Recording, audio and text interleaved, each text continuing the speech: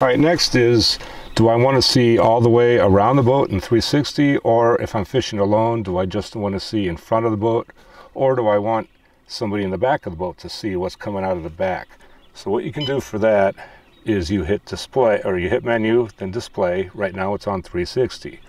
If I toggle one time to the right, you can see now it's only showing me the front.